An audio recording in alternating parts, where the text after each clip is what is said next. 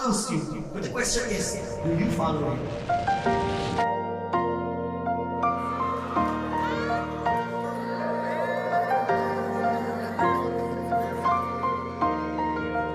Sometimes it is hard to follow God's plan. It is hard to do the things God wants us to do. And that's why we rebel to God because we choose the easier way.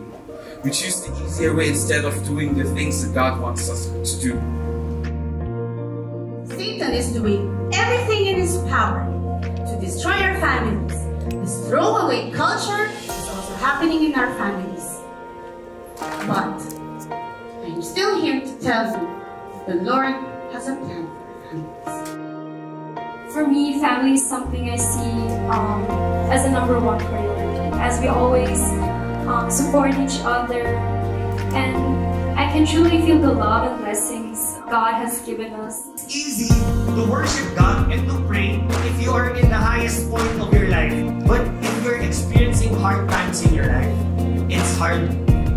That's why we're going to hold fast to Him. That no matter what, you won't want to Him because you love Him so much. I am called to love.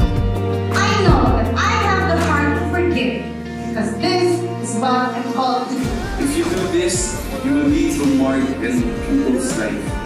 And maybe you can change their life to, to, be, to a better life. You can be the reason why someone will have a Christian life, a better life, a life with God. You can be the reason why someone will know God. even if like we don't pray that much, even if like we don't trust Him that much, God's love for you will remain same.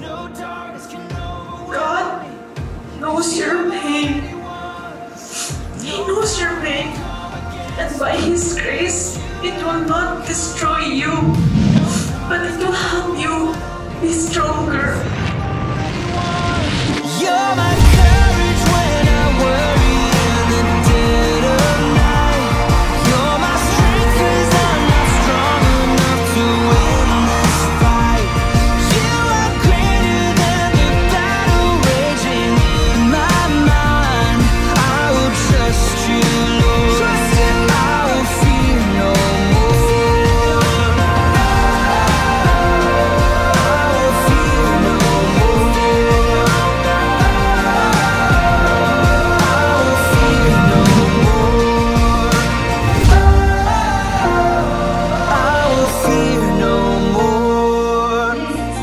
of family, families closer.